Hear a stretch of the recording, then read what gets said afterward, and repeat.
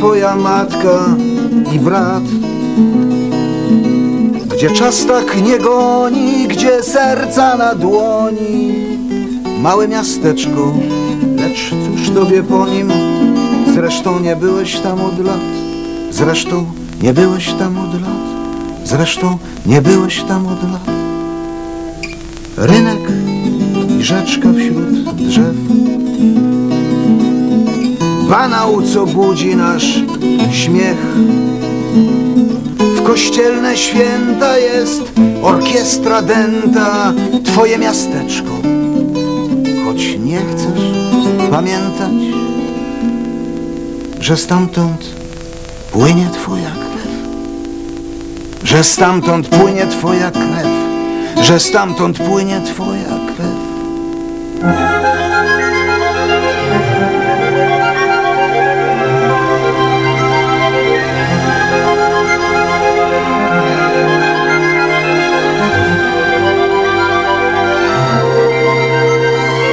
Ziemię z lotu ptaka.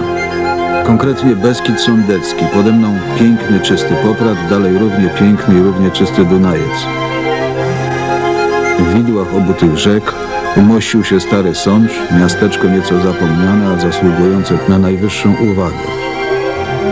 W dole miasteczko niewiele większe od bilardowego stołu, z rynkiem, który jest sercem takich miejsc i imponującym klasztorem Klarysek, skąd przez wieki spływało wszelkie dobro dla miasta.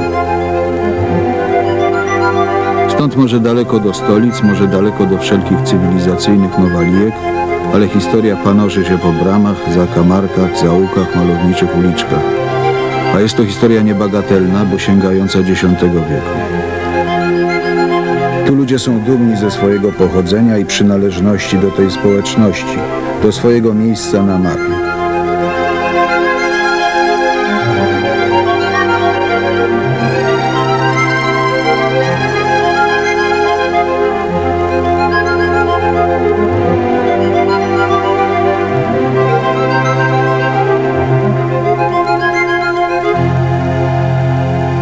Kochani Państwo, udało mi się szczęśliwie wylądować, pozwoliłem sobie obejrzeć Sądecczyznę z lotu ptaka, chociaż nie ukrywam, że bardzo się boję fruwać, no ale, ale e, naprawdę warto było. Oto wylądowałem przy stole.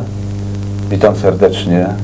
A mój pierwszy kontakt ze Starym Sączem był bardzo śmieszny. Pamiętam, jechałem jeszcze za czasów mojej działalności estradowej, jechałem e, samochodem z, e, z kolegą aktorem i całą drogę z Warszawy kierowca prowadził, myśmy siedzieli z tyłu i się na siebie dąsali, bo byliśmy coś na siebie źli. I całą drogę on się do mnie nie odzywał, się nie odzywałem. W końcu on sobie wyjął swoje kanapki i zjadł. To ja się zeźliłem, wyjąłem swoje kanapki i zjadłem. Jak już dojeżdżaliśmy do Starego Sącza i samochód na chwilę zatrzymał się przy tablicy Stary Sącz, to on już wtedy nie wytrzymał, bo prześmiewca jest znaczny, nalał szklankę wódki, podał mi i powiedział Stary Sącz. I tak się zaczęły moje kontakty y, z Sączem.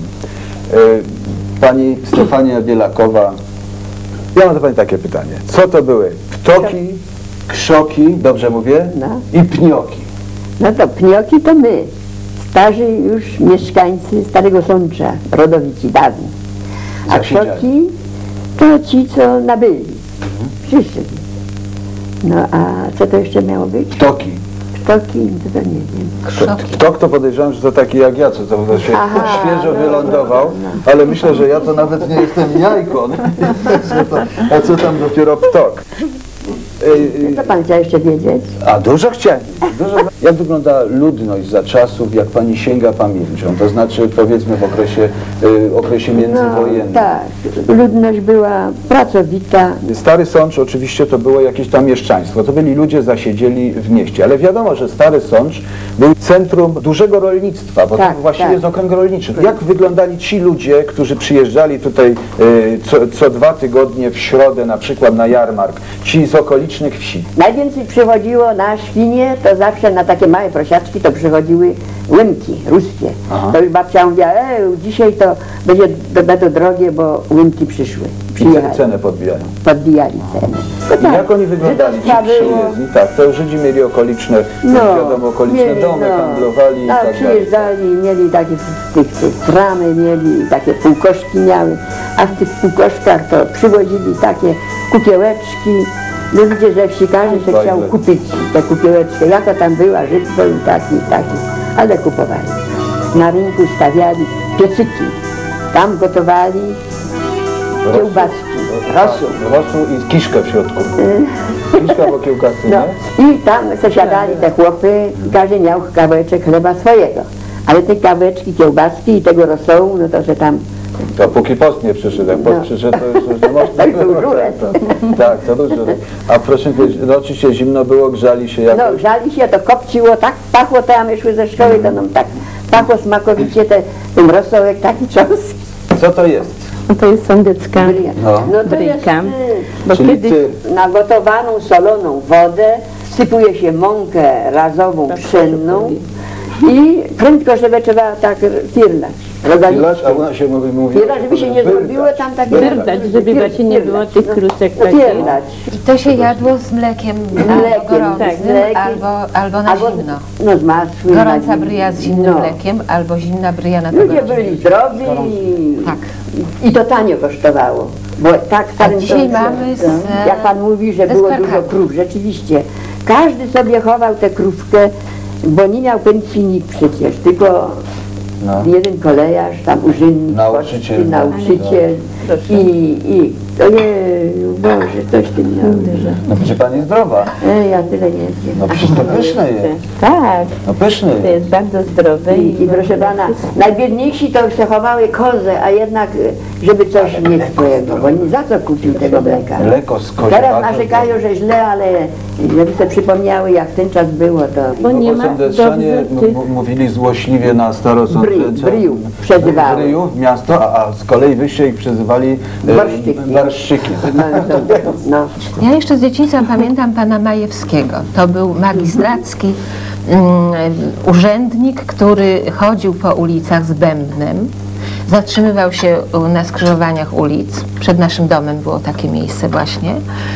I ogłasz, ogłoszenia magistrackie mm, wszemi wobec głośnym, donośnym mm, głosem y, odczytywał. A kończył to wszystko zawsze malowniczym ho, ho, czarna giełda. Oho, czarna giełda to mi się przypomina, Nie? jak mój wuj, nawiasem mówiąc, istnieją pewne podobieństwa tutaj, bo wuj tak, służył was, który mnie wychowywał w Zatorze, to nie jest tak daleko stąd. Był w armii austriackiej, później był, prawda, mm, pracownikiem kolei i on mi śpiewał taką kołyskę, jak mnie, jak mnie, e, kołysankę, jak mnie kolebał w tym, hurdą, to się mówiło hurdą. On mnie hurdą w tej kołysce, e, kołysce i jak byłem niegrzecznie nie chciałem spać, to mi śpiewał taką piosenkę. E, e, Pładzę, Jasiu, płacz, jedzie kocia mać, na dębowym wózku, w czornym kapelusku musimy cię dać. Ja się strasznie wtedy bałem, że mnie muszą dać i do dzisiaj mnie ten strach trzyma, jak se to zaś... To pyszne jest. No, Naprawdę bardzo dobre. No, dobrze bardzo, naprawdę pysznie jest. Ludzie I lubili się strasznie bać w dawnych czasach.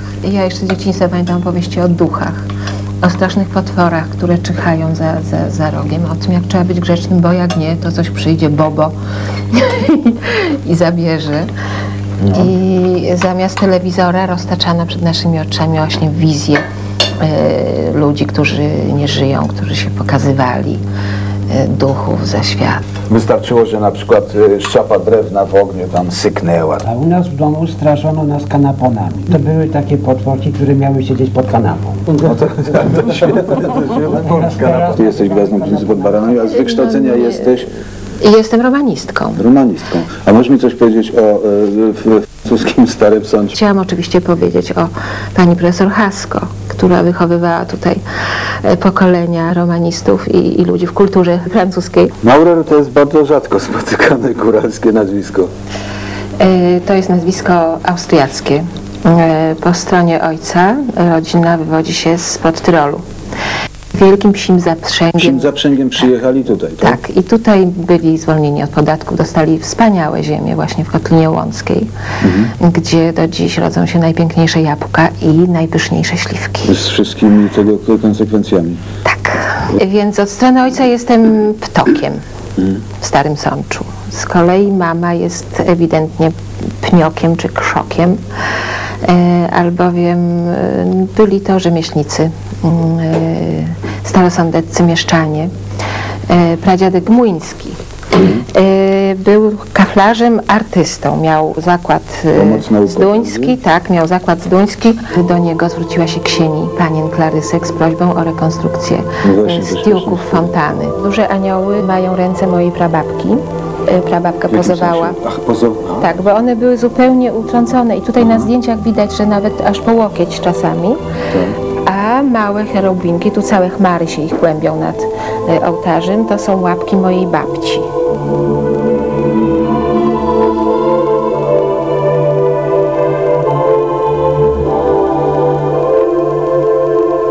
Klasztor skupiał wokół siebie e, rzemieślników, artystów, którzy realizowali zamówienia dla klasztoru.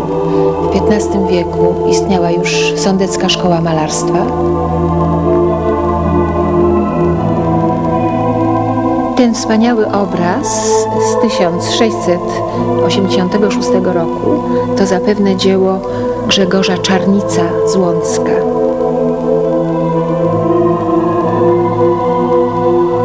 To najstarsza zachowana rzeźba błogosławionej Kingi, rzeźba gotycka wykonana w 1470 roku około.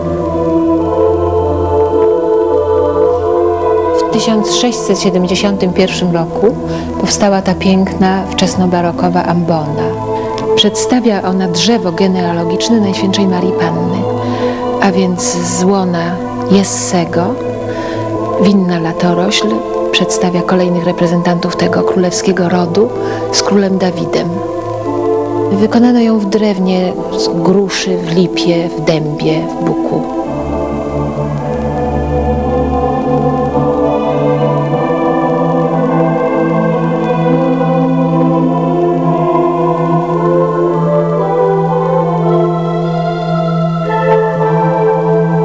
Dzięki łaskawości Matki Księgi Przewielebnych Panien Klarysek w Starym Sączu mamy możliwość zobaczyć tu najcenniejsze przedmioty osobistego, codziennego użytku fundatorki klasztoru Klarysek w Starym Sączu, błogosławionej Kingi. Oto psał też, z którego modliła się Ksieni Starosądecka.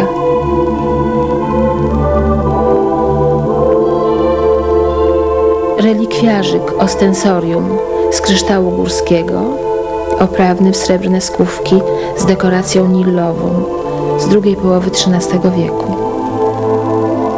Łyżeczka z agatu około połowy XIII wieku. Kościana rękojeść sztyletu z rzeźbą fantazyjną fantastycznego zwierzęcia z drugiej połowy XIII wieku i wczesnogotycką, nieco późniejszą srebrną skówką. Medalion z drugiej połowy XIII wieku z krucyfiksem i antyczną gemmą, zapewne dar od jej matki. I ametystowe intaglio z dwiema postaciami z XIII wieku, uznawany jako pierścień zaręczynowy od jej męża Bolesława. Słynny czterogłosowy konduktus omnia beneficia na pergaminie, zapis utworu, który powstał tutaj w Starym Sączu, który świadczy o dużej kulturze muzycznej, o kultywowaniu e, muzyki przez siostry Klaryski. E, tutaj prawdopodobnie powstała Bogu Rodzica Dziewica, przypisuje się ją Bogu Chwałowi Franciszkaninowi.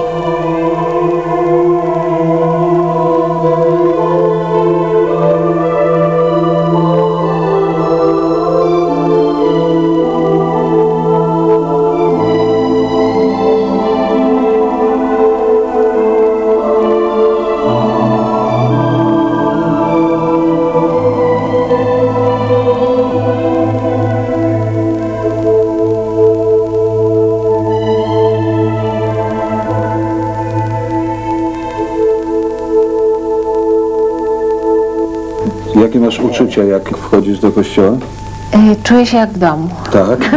Skądś te łapki znam. Pan Stanisław Dąbrowski. Przyszłość kultury starosądeckiej. Pan w tej chwili się zajmuje promocją e, Starego Sącza w ogóle, a dziś Starego Sącza to przede wszystkim e, jedna z najwspanialszych imprez muzycznych w kraju, mianowicie Festiwal Muzyki Dawnej. Panie Stanisławie, klaryski to zakon o dosyć ostrej regule. Y, jest to zakon kontemplacyjny. Jak zatem y, udaje się pogodzić spotkanie y, tych dwóch światów, świata zewnętrznego i świata klasztornego w przypadku festiwalu? No od wieków, powiedzmy, życie kulturalne tego miasta koncentrowało się wokół klasztoru, promieniowało na, y, życie klasztorne promieniowało właśnie na, na okolice tutejsze. I właściwie no nie ma powodu, żeby miało być dzisiaj inaczej. Ja osobiście doświadczam raczej wielkiej przychylności tak y, sióstr Klarysek z matką przełożoną, jak i biskupa Tarnowskiego. W prawda? klasztorze zawsze właśnie była orkiestra. No. Ślady te, e, tej orkiestry w zapiskach. A czy wyczuwalna jest dbałość na przykład sióstr o, o, o rozwój, to inwestowanie w, w muzykantów, że tak powiem w cudzysłowie? Przez całe wieki tak, a więc siostry kupowały instrumenty muzyczne. Były to skrzypce diszkantowe. Skrzypce? Skrzypce, tak. To się musiało skrzypieć. Kupowano piszczałki, trąby, szałamaje, e, jakieś waltornie, bodaj dwie. Siostry dbały również o wygląd, mu, wygląd muzyków. Są zapiski o wydatkach na e, trepy, ciżmy żółte, żupany i nakrycia fantazyjne głowy. Poza tym istniała szkoła muzyczna. E, Młodzi, zdolni muzycy byli kształceni tu na miejscu, niektórzy byli posyłani do Krakowa. A w wolnych chwilach jedzą bry, jedzą bry. No i, i Wszyscy mówią po francusku. piękna. Ja ci zaśpiewam swoją kołysankę. No Jana. tobie straszne o, kołysanki śpiewano, Tak.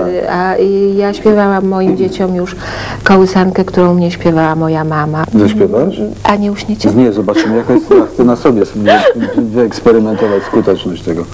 No spróbuję, ale może w takim razie pan profesor Pan- byłby panie tak miły Ludwiku. i zakompaniował mi to będzie. O, to wspaniale, no bo któż by lepiej jak, jak nie pan właśnie. y, Myślę, że właśnie lepiej niż a cappella. Aluli, luli, luli, aluli, luli, lu. Mateńka cię utuli, kołysze cię do snu.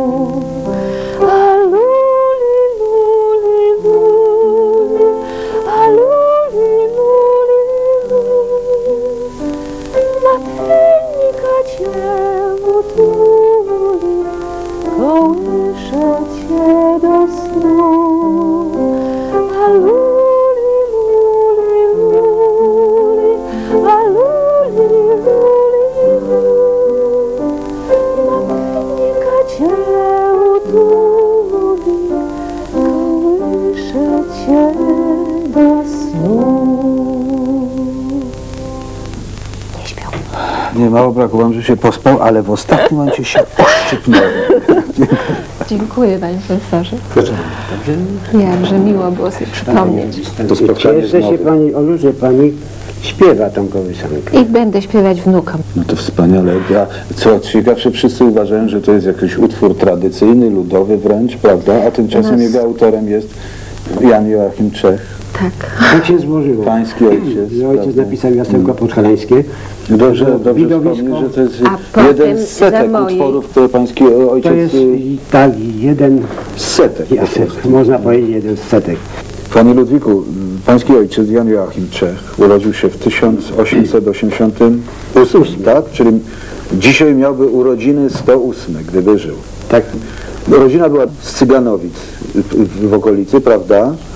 I dzięki swojemu talentowi i y, uporowi otrzymał stypendium i poszedł do studium nauczycielskiego. Rodzice mojego ojca, Ignacy i Ludwika z Górskich, przybyli ze Zbyszyc. Dziadek Ignacy był szewcem. Jego ojciec był krawcem, Jan i ojciec Jana też był krawcem, natomiast je, jego ojciec przybył skądś do Zbyszyc po powstaniu kościuszkowskim. Tam na ścianie y, mamy zdjęcie ślubne rodziców. To jest to zdjęcie, które tutaj mamy Tak. też w pomniejszeniu. To jest kwiatek, który ojciec miał biorąc ślub przypięty do klapy marynarki. Coś niesamowitego. A to znamienne jest to, wie pan, że, że tak się y, w, w rodzinie państwa celebruje. No utrzymały się jakby nie było od 910 roku. Z obowiązkowym mirtem. No i jakby w konsekwencji, prawda, Tak tego kwiatka w klapie, was sześcioro pojawiło się na świecie.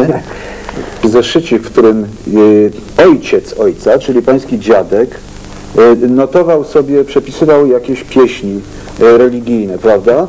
Więc tutaj ta wspaniała kaligrafia, która wskazuje na to, że, że poczucie piękna nie było pańskiemu dziadkowi obce i podejrzewam przeszło e, na ojca Jana Joachima, a później e, na Na całą rodzinę. Koncert rodzinny, ojciec, y, matka, ojciec, ja tu na skrzypcach, siostra na fortepianie, druga siostra na wiolonczeli. No, Był zwyczaj grania w domu przede wszystkim na fortepianie czy, czy na instrumentach. Dzieci e, obowiązkowo musiały umieć na czymś zagrać. Ludzie wypełniali sobie w ten sposób czas. Jak gdy, prosta zasada, jak sobie chcesz zatańczyć, to sobie musisz zagrać. Radia się nie puściło, telewizji się nie puściło, bo nie było, prawda? Więc całą sztukę trzeba sobie było załatwiać samemu. Ale jednocześnie były bardzo silne inklinacje, y, y, takie powiedziałbym regionalne. Mój ojciec chrzestny był kierownikiem szkoły w, we wsi Gierałtowice. Zbierał na przykład świątki z całej okolicy. Miał tego całe mnóstwo. umiłowanie do regionu to jest jedna rzecz, a umiłowanie, a patriotyzm ojca Właśnie chciałam i tutaj... religijność to jest zupełnie jakby nowy, inny. Tak, z tym, że patriotyzm y, dotyczy w ogóle szeroko pojętej, Tak jest, tak y, jest. y, pojętej ojczyzny, a, a jakby częścią tego, tą najbliższą sercu jest miłość do, do regionu, czyli do krajan, prawda? Ja pamiętam jak mój ojciec, pochodzący z, z południowej Polski, y, y, przeniesiony do, do Warszawy, traktował wszystkich ludzi, którzy się okazywali być jego krajanami. Z pełnym sercem, z, otwar- z otwartością, zapraszał do domu, to było coś niezwykle cennego. Ale to jest do dziś. Krakowie. Właśnie opowiadała mi moja kuzynka, że w czasie okupacji u państwa Czechów były tak zwane wieczory patriotyczne na 11 listopada i 3 maja, więc grało się tam twory jakieś pana Czecha, no naturalnie śpiewało się pieśni patriotyczne przy zasuniętych oknach, cichutko. Ale dobrze jest, dobrze wspomnieć, że wszyscy Państwo byście y, y, zaprzysiężeni w AK, prawda? No tak. Y, Z, z najbardziej y, okrutnymi konsekwencjami tego, bo wiem, że ojciec i, i czterech braci. Ojciec i nas czterech braci I- byliśmy aresztowani byli się w aresztowani, 1951 tak. roku. No, brat Tadeusz, on był partyzantem, ja był łącznikiem, a dwóch braci, najstarszy było w Oświęcimiu. W Oświęcimiu, Oświęcim Buchenwald, no przez nie wrócili. Tak jakoś. Szczęśliwie. I w dalszym ciągu, cóż, pewnie- Szczęśliwie się zga- y, y, y, wszystko złożyło. Tu ojciec komponujący, a tutaj mam jeszcze zdjęcie ostatnie, 54 rok. Ojciec zmarł w 51 to roku. człowiek jak się patrzy na się za boku kręci, jak się patrzy na te rekwizyty, kałamarz, pióro na stalówkę, prawda, obsadka z jakąś piórą, nie wiem, czy to był serek, czy coś innego. Tutaj taki bibu, jak, Bibularz. No, bibularz, tak. W tym tomiku wierszy pana Jana Joachima e, Czecha znalazłam śpiewkę jaśkową Wedle Naserzycki pasą się konicki. To piosenka, którą znałam z domu. Śpiewaliśmy ją, ojciec grał na skrzypcach, brat na e, drugich skrzypcach sekund, e, mama śpiewała. Sądziłam, że to piosenka łącka. Ludowa. Ludowa. Okazało się, że y, autorem jest Jan Joachim Czech. Y, grają ją, śpiewają sądeckie lachy i zdaje się zespół pieśni y, Śląsk. Czyli żeby nie było wątpliwości, to wszem i wobec ogłaszamy, że jest to utwór zarówno w warstwie muzycznej, jak i tekstowej Jana Joachima Czecha. To zaśpiewany?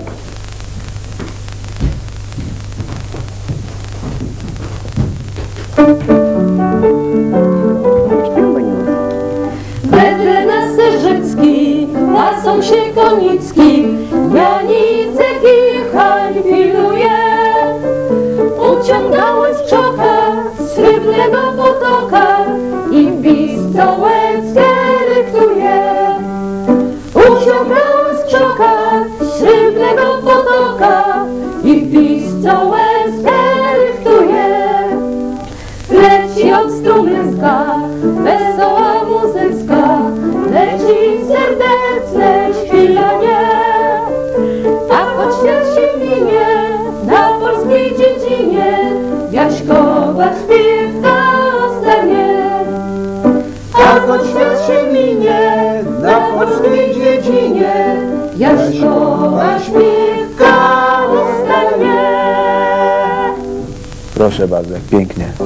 Baś piknik.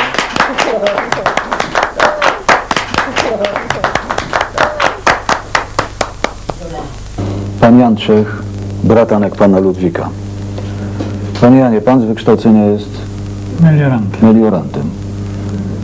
Zdarzył się panu wypadek, nie będziemy w to wnikać, przepraszam, że o tym mówię, ale y, mówię tylko dlatego, że istnieje pewne prawdopodobieństwo, że po drugiej stronie y, siedzą ludzie, którzy w tej chwili mogą mieć y, moment niewiary czy zachwiania. Dla mnie pan jest przykładem, y, y, że tak powiem, wielkiej mocy, która spowodowała, że wyszedł pan na, na prostą, chociaż jest już ona inna.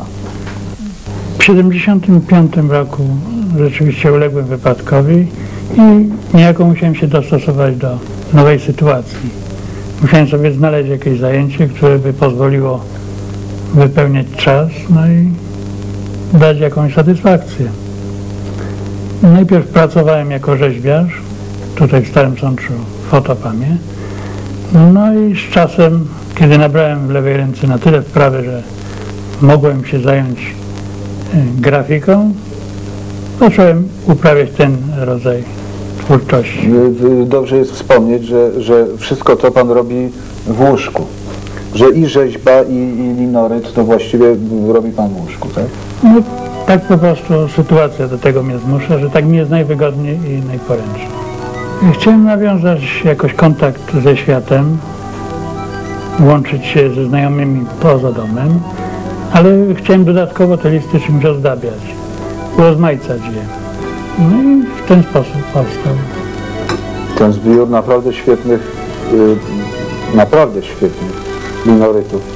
Zwięzłych, takich esencjonalnych, ale co, co jest uderzające w pańskiej twórczości, że one cały czas dotyczą tego samego miejsca, czyli jak gdyby y, wraca sprawa y, umiłowania regionu. Tak, sentyment do Starego Sącza i Sądeczyzny. Skoro człowiek się tutaj urodził, No tak. wychował, stąd pochodzi rodzina, To nie jest- wspomnę o tym, jest że, że naprawdę jest na czym oko jest się zatrzymać. związanym z tym miejscem. Tak. Czy pan zna tę damę? Tak, jest to Ada Sari. To jest pseudonim artystyczny, ale właściwie nazywała się e, Jadwiga Szajerówna. Więc ja z rodziną Szajerów jestem spokrewniony po kądzieli przez mamę, która z domu nazywała się Szajer, Aleksandra. I dziadkiem mamy był Edward Szajer, który to w Starym Sączu miał kancelarię adwokacką i w okresie międzywojennym przez kilka kadencji był burmistrzem Starego Sącza. Jego córką Tak. właśnie była Jadwiga Szajerówna, czyli Ada Sary. Światowej sławy śpiewaczka operowa. Czy pan ją pamięta jako człowieka? Jaka była? Miła? Tak, była Serdecznie. bardzo miła, sympatyczna i ciepła. Kiedy siedziała w domu rodziców, oczywiście cały czas ćwiczyła głos, prawda? Te wszystkie ćwiczenia podejrzewam na przeponę, tak, i te wszystkie historie, ale podobno, y, jak się mówi, podczas kiedy ćwiczyła, y, to y, ludzie y, bardzo często gromadzili się pod oknami, żeby posłuchać jej śpiewu. A ptaki milkły. A ptaki milkły? Zdarzenia, O, Pani Mario, z nieba nam Pani spadła. Pani Maria Nicpońska, córka pani Stefanii, nauczycielka. Dzisiaj raczy nas starosądeckimi potrawami. Bo moja babcia, prababcia, to właśnie jak ja pamiętam, to robiła właśnie te podpomyki ze serem z miętą. Pieprzową, taką kędziurką też nazywają. Drobniutko posiekaną, wymieszaną ze serem słodkim no i przykryty właśnie ten placek taki na, na opacie i wsunięty do pieca. Maria, mogę jeszcze, zacząć, jeszcze na liście, na liście, na liściu kapuścianym właśnie nieraz był pieczony ten placek. Aha. Tak, tak jak się zdejmowało, to już tak się ten listek był taki wysuszony i W ogóle liść kapusty y, popielone było. kiedyś służył, tak jak w średniowieczu, jak, jako, jako kromkę, kromki chleba dłużej używano Tak. jako talerz, Tak. tak, y, używano też jako talerz y, liścia kapuścianego. Bierzemy się za to? tak jak najbardziej. Bierzemy się w takim razie. Jakiś talerz. Żeby coś rozłożyć. Mały to dla, dla Pani Stefanii. Ja się. Pani Stefanio, jestem bardzo ciekaw, jak Pani robi takie wypieki. Mówię o tych rarytasach. O! Domyślam się, że to jest błogosławiona Kinga. Tak. Ona, kiedy przywdziewała już habi, oddała koronę i, be, i berło już pod nogi, a sama jest, ubrała już. I to trzyma różaniec. Tak, rozumiem. już zakończyła. I to jest lity kawał gliny, który Tak, Pani... które przynoszę z lasu. Muszę w rękach wyrobić jak plastelinę, żeby była taka, bo jakby nie była wyrobiona, to wypękała. A to? To jest taka babuleńka, robi masełko. Z masło tu ma masy, A maselnicę. tutaj jest jak na imię, to jest Justyna. Justyna, a proszę mi To jest powiedzieć, moja córka, moja wnuczka Justyna, Justyna. więc ona jest. Ale mamusia ma jeszcze takie niewypala, wypalone, ale nie pomalowane, Ma. takie jak cegła. No. One są też bardzo ładne. Mnie to cieszy i córkę też cieszy. Wszystkich nas to cieszy.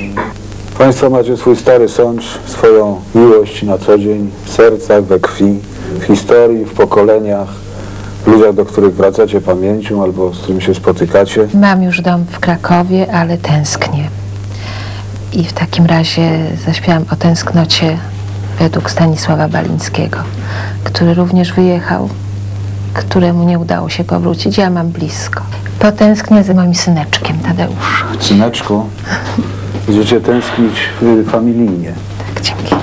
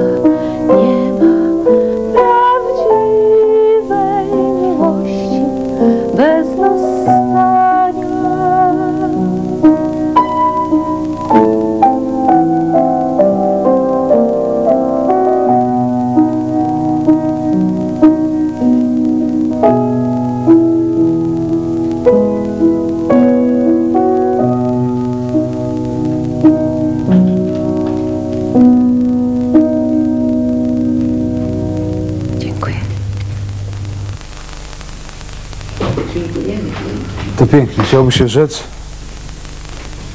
odlotowe. Jak to się, jak to się dzisiaj, jak to się dzisiaj mówi. Nie ma prawdziwej miłości bez Proszę. Państwa, kochani Państwo, czas na mnie. Bardzo Wam, ale to bardzo serdecznie dziękuję za gościnę. Jest to naprawdę cudowne miasto, miasto, do którego się wraca z radością na pewno i, i, i w którym się można Cóż, zatracić. Bóg w dom.